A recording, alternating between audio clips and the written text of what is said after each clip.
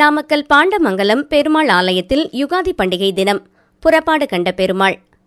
நாமக்கல் மாவட்டம் பரமத்தி வேலூர் அருகே உள்ள பாண்டமங்கலத்தில் எழுந்தருளியுள்ள அலமேலு மங்கா கோதாநாயகி சமேத பிரசன்ன வெங்கட்ரமண சுவாமி கோவிலில் யுகாதி பண்டிகை தினத்தினை முன்னிட்டு மூலவர் உற்சவருக்கு சிறப்பு திருமஞ்சனம் செய்த பின் அலங்காரம் செய்யப்பட்டு மகாதீபம் காண்பிக்கப்பட்டன.